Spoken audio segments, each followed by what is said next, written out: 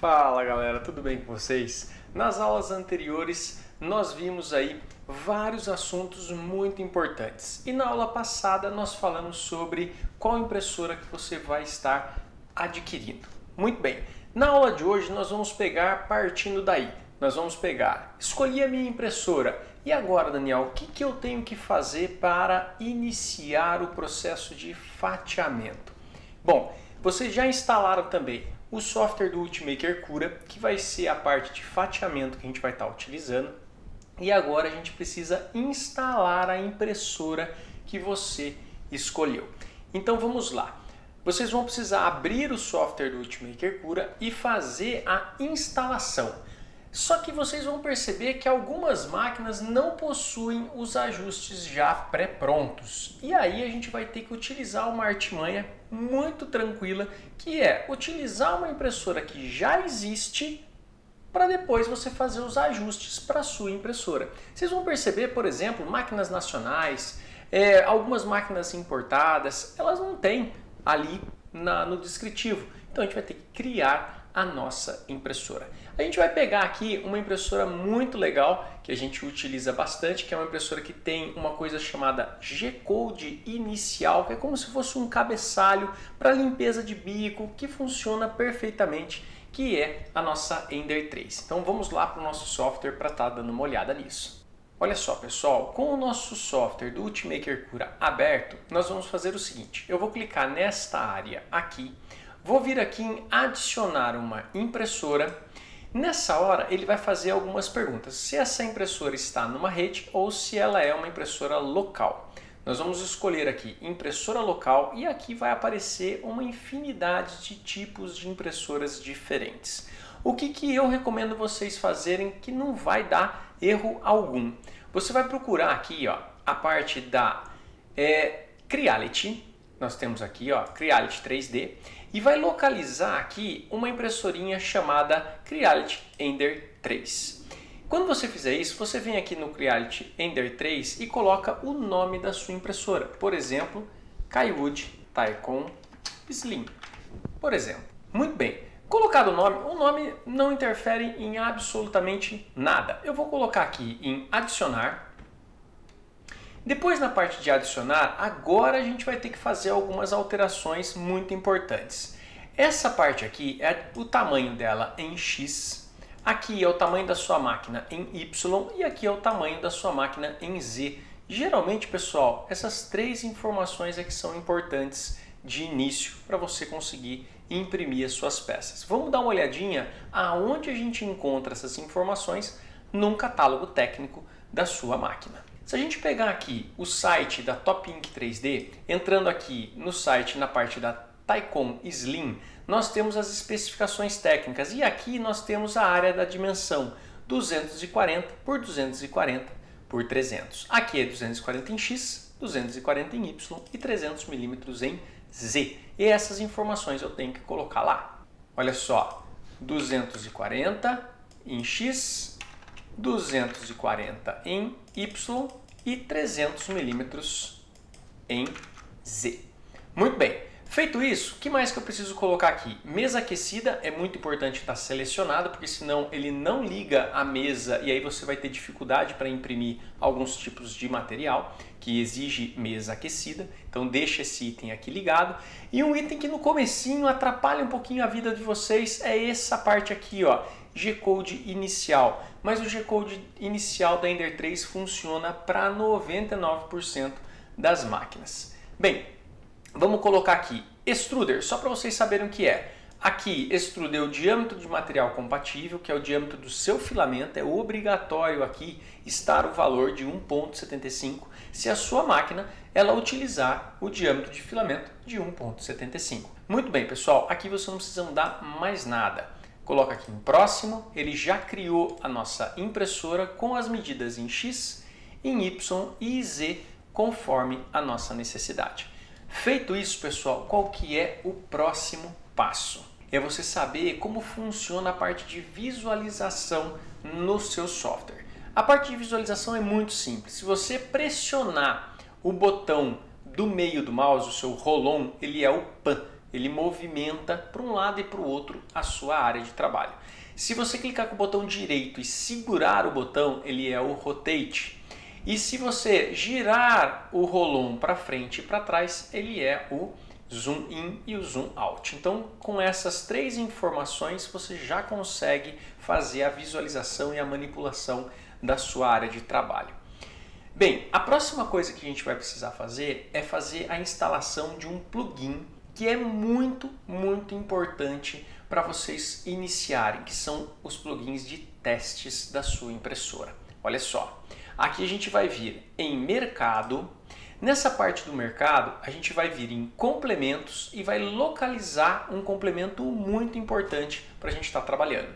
Esse complemento ele se chama, olha só, você vem girando a rodinha do mouse aqui para baixo, o rolon, Calibration Shapes. Localiza esse cubinho, esse cubinho amarelo, clica em cima dele e manda instalar. Feito isso, precisa reiniciar o seu Ultimaker Cura e fazer a abertura dele novamente. Após você fazer esse processo, o que, que vai acontecer? Nessa abinha aqui, ó, extensões, vai aparecer aqui o Part for Calibration. O que é isso? São várias peças da qual você pode fazer o teste da sua impressora. Então, por exemplo, tem aqui o ADD a Calibration Cube, que é o, cabinho, o cubinho né, que a grande maioria das pessoas utilizam para fazer a verificação da qualidade superficial, da parte dimensional da sua peça. Essa é uma pecinha muito legal que a gente está trabalhando e eu vou iniciar o nosso processo partindo dela. O que eu quero mostrar para vocês nesse primeiro início, pessoal, nesse começo? A primeira coisa que vocês precisam entender é que existe uma coisa chamada resolução da sua impressão. E onde você vai encontrar isso é aqui, ó. Quando você clica nessa parte daqui de cima, você aparece essa infinidade de comandos. Nesse começo, nós vamos vir aqui em recomendado e vamos utilizar esta área de trabalho aqui primeiramente para você não se confundir. Quando a gente vem por aqui, nós temos aqui quatro itens que a gente pode estar utilizando. Altura de camada de 12 centésimos, 16 centésimos, 20 centésimos e 28 centésimos. Essas alturas de camada, pessoal, ela é muito importante você ter uma atenção especial para isso, porque se você colocar uma altura de camada mais grosseira, a peça vai sair mais rápido, porém com uma qualidade menor. Se você colocar uma altura de camada de 0,12, a peça vai ser fatiada em várias camadinhas a mais de 12 centésimos, vai demorar mais, mas você vai ter uma qualidade melhor. Vamos verificar? Olha só, com 0,28 de alturas de camada, o que quer dizer isso? A gente clicou ali, clicou em fatiar e vem aqui em pré-visualizar. Agora a gente consegue visualizar aqui ó, que cada alturinha dessa daqui de camada, ó, cada triângulo desse que nós temos aqui, ó, clico nessa bolinha e venho puxando, colocando, clicando a setinha para cima e para baixo, cada alturinha dessa daqui, pessoal, é 28 centésimos de milímetro.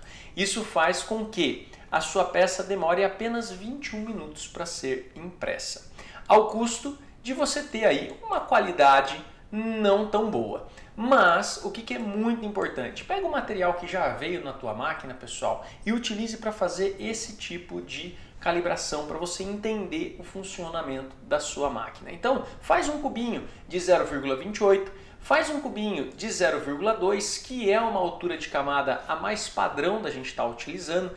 Repare, agora as alturas de camadas já ficaram mais finas. Faz um de 0,16 e faz um de 0,12 e avalie a qualidade de cada uma das suas peças. Você percebe que o de 0,12 ele já demora 55 minutos para estar tá fazendo. Por quê? Porque ele vai ter muito mais camadas. Nesse caso, 167 camadas no total. Então ele vai subir ali 167 camadas até fechar a sua peça. Por aqui você já vai ter uma bela de uma noção da qualidade da sua impressão. Galera, agora entra numa segunda etapa. A segunda etapa, depois que você fez ali o seu, o seu cubinho de calibração, é, você pode ter uma seguinte dificuldade, que é da aderência da sua peça na mesa. Ou ela pode ficar muito apertada, ficar estranho, ficar uma coisa muito falhada, a primeira camada, ou ela pode ser que fique muito alta e comece a depositar, parece que está depositando no ar, e aí a sua peça nunca fica apoiada corretamente. Bom, dessa hora você tem duas opções. Se a sua máquina é uma máquina mais sofisticada, você tem nivelamento automático, você vai entrar no Z Offset e você vai ajustar o nivelamento da tua máquina. Nessa parte, cada máquina tem um nivelamento diferente. A gente precisaria de mais tempo para estar tá conversando cada uma delas.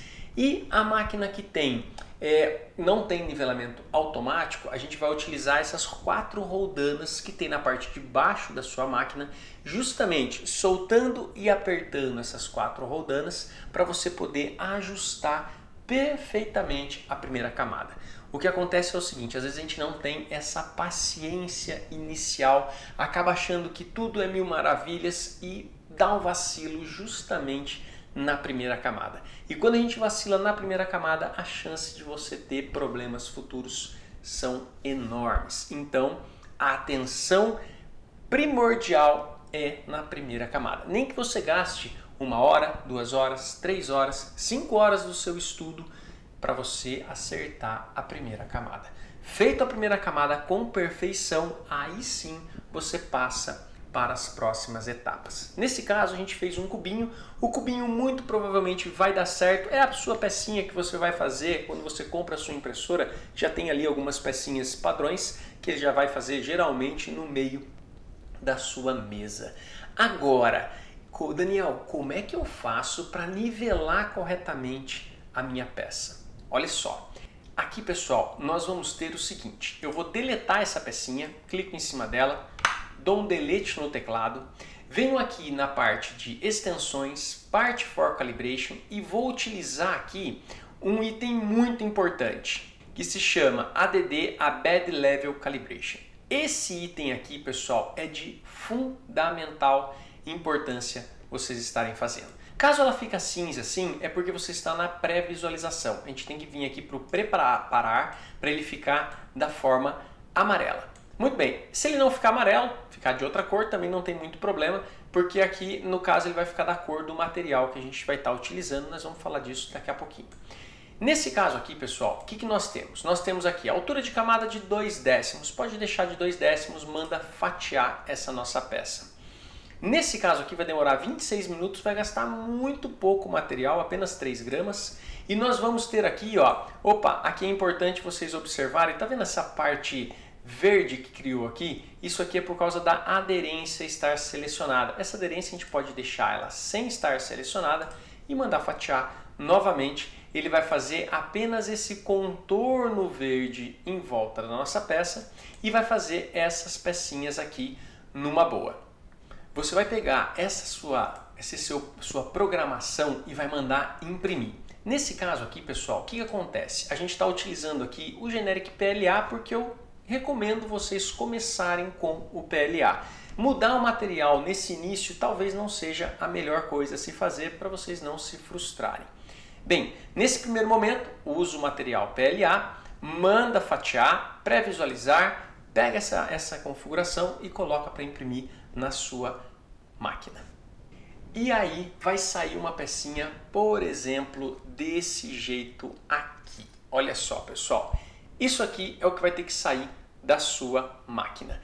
E aqui você vai começar a visualizar se a sua camada ela está boa ou ruim. Nesse caso aqui não ficou muito boa não. Aqui a gente tinha um problema de temperatura, ele pipocou um pouquinho. Olha só como é que ficou. Nesse caso aqui, ó, veja só, ela tem aqui algumas imperfeições nessas partes de trás. As outras aqui, olha só, você pode verificar que ele ficou um pouco mais é, fino na parte de fora, um pouco mais grosso na parte externa. Isso é normal. Aqui ela houve a desconexão e por aqui todos eles acabaram é, havendo uma linha aqui, sem problema. Esse daqui é o material nylon, pessoal. É um dos materiais que eu particularmente tive a maior dificuldade em regular. Mas depois que você regula, vai numa boa.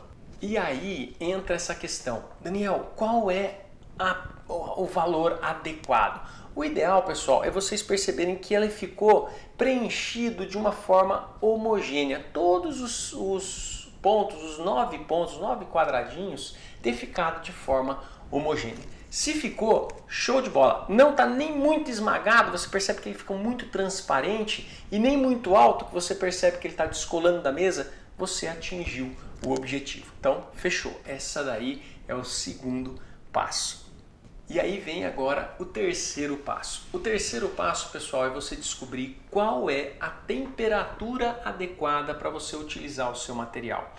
Nem sempre ah, os materiais aceitam as mesmas temperaturas. Mas Daniel, eu estou usando PLA, PLA sempre tudo igual. Não é, pessoal. Nós temos hoje várias gamas de PLAs diferentes. Nós temos gamas aí, por exemplo, de PLAs que trabalham a 195 graus muito bem, mas nós temos PLA que trabalha a 225, 230 graus também muito bem. E se você inverter muito provavelmente vai dar problema. Então a gente precisa fazer uma coisa chamada torre de temperatura. E essa torre de temperatura você encontra também no seu software. Olha só, primeira coisa que você vai fazer, deleta essa peça aqui, porque nós já resolvemos esse problema.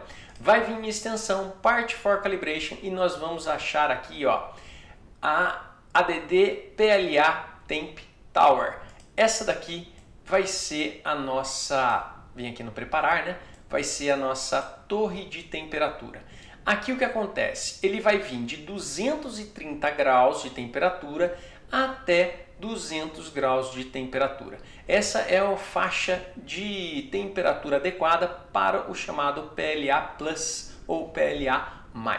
Daniel, mas e o 190 e o 195 graus? Eu não vou verificar? Vai sim. Se você quiser verificar, deleta essa daqui vem aqui na extensão Part for Calibration e acha esse aqui, ó, ADD PLA Temp Tower 190 graus. Quando você vier aqui, nós temos de 220 graus até 190 graus. Com isso aqui, pessoal, vocês vão conseguir avaliar qual a temperatura mais adequada para vocês fazerem a impressão de vocês. Aqui você vai mandar fatiar a sua peça e nessa hora você vai ver o seguinte, pré-visualização eu vou ver qual vai ser a altura dessa primeira camadinha aqui, ó, onde termina o 220. Eu estou aqui ó, na altura 40. Na altura 40, então, eu quero que mude a temperatura. Então, vocês vão fazer o seguinte, vocês vão vir aqui extensões, pós-processamento, modificar G-Code, e aí nesse modificar G-Code você vai vir em adicionar um script, change ATZ e nessa hora você vai vir aqui, ó, Change Extrude Temp. A gente vai estar tá pegando a 1 porque é a extrusora 1. E aí eu vou mudar aqui para quanto? Para 215 e em qual altura? Na altura 40. Então vou colocar aqui, ó, layer número 40. Quando eu faço isso mando fechar, ele cria um item a mais aqui para mim, ó, que é justamente uma alteração que, que vocês vão ter que fazer, pessoal? Vocês vão ter que fazer várias alterações. Por isso que eu digo que iria gastar um pouquinho de tempo e vai ficar maçante. Mas em cada alteração aqui, ó, ele imprimiu aqui a 215, desse ponto aqui, aqui na 80, daqui para cima ele vai imprimir em quantos graus? Vai vir em 210 graus, que está marcado aqui, até a próxima altura. Então você vem ajustando e vai fazendo a parte de forma automática. Muito bem, pessoal. Por aqui a gente já viu três itens de fundamental importância. O primeiro, o cubinho de calibração, para você verificar se está tudo em ordem e para verificar ali a qualidade nas suas alturas de camada, muito importante. Depois a gente fez um ajuste de mesa, fazendo ali o ajuste da sua mesa, do nivelamento da sua mesa e depois a gente fez o ajuste agora de da parte de temperatura. Depois que você definir qual é a temperatura adequada, aí você fala assim, mas Daniel, como é que eu vou definir a temperatura adequada? Vamos dar uma olhada? Olha só, pessoal, essa torrezinha aqui é uma torre de TPU, é aquela que é flexível, que se você não ajustar a temperatura correta, você vai ter muita dificuldade para estar tá imprimindo. E essa daqui, olha que legal. Aqui vai acontecer o seguinte, você consegue perceber um monte de fiapeira, muito, muito, muito fiapo no meio da peça, que é essa parte aqui do meio. Mas o item mais importante para mim é para vocês perceberem a qualidade. Aqui está ruim a qualidade, só que quando ele sobe um pouquinho, ó, vem mais para essa parte aqui, ele já fica mais brilhante, ó. Ele não tem mais essa rugosidade ruim ele já fica mais brilhante a partir de 220 graus. Nesse caso, pessoal, para esse material aqui, que é o TPU, para esse rolo de material que eu estou utilizando, a gente vai utilizar aqui próximo de 220 graus, porque ele já deu um acabamento perfeito para gente. Então, o resto dos ajustes nós vamos ajustar com a temperatura de 220 graus. Aí você fala assim, mas tem mais ajuste, Daniel? Tem, tem mais ajuste, que é justamente essa fiapeira que ficou na nossa peça. Nessa hora a gente vai entrar para a parte de retração, que é um ajuste muito importante que a gente deve fazer. E como é que funciona? Olha só, essas daqui são algumas peças que foram feitas na parte de retração em é, TPU. E o TPU, a retração tem que ser muito, muito bem regulada, senão a fiapeira aparece e não tem como você tirar essa fiapeira. E o que, que a gente chega a fazer? Olha só, aqui a gente conseguiu eliminar toda a parte de fiapo da nossa peça. Olha só que bacana. Aqui os fiapinhos já sumiram todos. Então aqui eu já consegui definir toda a parte de é, temperatura, qual é a temperatura adequada e também já definimos aí qual vai ser a parte de retração. Você fala, pô Daniel, legal, mas aonde que eu ajusto essa parte de retração? Agora vamos lá no computador novamente. Olha só, pessoal, a parte de retração eu vou deletar essa parte aqui, vou vir aqui em extensões, part for calibration e vamos procurar aqui a torre de retração. E aqui nós temos ADD Retract Test. Nesse caso aqui, nós temos esse retract que é muito rapidinho de fazer, é uma retração bem tranquila e aqui nesse caso só tem que tomar um pequeno cuidado, que é uma dica de fundamental importância que eu vou dar para vocês. Aqui, pessoal, ele deposita muito pouco material. Então, se às vezes você fica com fiapo, fica com fiapo e não consegue resolver, ele sempre vai ficar uma pequena teia porque ele tá ali sempre muito quente porque acaba depositando pouco material. Eu recomendo que vocês façam essa outra aqui, ó, Part for Calibration e a Retract Tower. Essa daqui, vou deletar essa de dentro, essa daqui é mais interessante você tem retração de 1 mm, 2 mm, 3, 4 e 5 mm. Da mesma forma que você fez o ajuste de temperatura, você também vai fazer o ajuste de retração. Você vai vir aqui em preferências, em preferências não, em extensão, pós-processamento, modificar G-Code, vai colocar a alturinha do change lá que é de 40, só que agora você vai mudar aqui, ó, change retraction. E quando você entra em Change Retraction, a gente tem aqui, ó, Change Feed Rate, que é a velocidade da nossa retração. Aqui o ideal é que seja a maior velocidade que você consiga, geralmente em torno de 55 mm por segundo, a maior velocidade que a grande maioria das máquinas consegue fazer, a retração. E aí a gente vai vir aqui, ó, Change Retraction Length. Aí aqui você começa com 1 milímetro, que vai ser a primeira retração, e depois você vai aumentando para 2, para 3, para 4, para 5 e assim por diante. Aí você fala assim, poxa Daniel, mas para eu mudar aqui para 1 milímetro, o que, que eu tenho que fazer? Eu vou ter que ver qual é a altura da primeira camada que nós temos aqui. Ó. A primeira camada que a gente vai estar tá utilizando, vou vir em predefinir, ele vai olhar aqui, ó, nessa daqui, ó, camada 4. Na camada 4 eu vou ter que mudar para 1 milímetro. E depois, lá na camada aqui, nessa camadinha 40, aí sim eu faço a mudança para 2 milímetros. Lá na camada 80, eu faço a mudança para 3 milímetros e assim por diante. Aí, pessoal, vocês vão chegar no seguinte. Sempre você tem que ter, então, a maior velocidade de retração com o menor valor possível de retração. Então, se você percebeu que com 2 milímetros já não tem mais teia, acabou esse é o valor que você vai utilizar na retração. Por exemplo, 55 mm por segundo de velocidade, 2 mm de retração. Ah, Daniel, isso é um padrão? Não, pessoal. Infelizmente, eu vou dizer para vocês, impressão 3D não tem padrão. E não existe um perfil padrão para tudo. Isso é uma vontade enorme que as pessoas têm de encontrar um perfil perfeito, mas eu vou dizer para vocês, ele não existe. Para cada tipo de peça, você tem que entender o funcionamento da impressão 3D e fazer ajustes criteriosos em todas as configurações do Cura. Infelizmente, não é plug and play, pessoal. Não é enfiar a impressora na tomada e mandar imprimir que vai sair uma peça de qualidade. Eu preciso deixar isso bem claro para vocês enquanto vocês ainda não fizeram um investimento de máquinas e por aí segue. E se você já fez um investimento de máquina, você já deve estar tá procurando essa solução milagrosa. E essa solução milagrosa, ela não existe. Eu vou dizer para vocês, imprimir não é difícil, é simples, é tranquilo, mas você tem que saber o que você está fazendo. Impressão 3D, pessoal, é chamado de manufatura aditiva.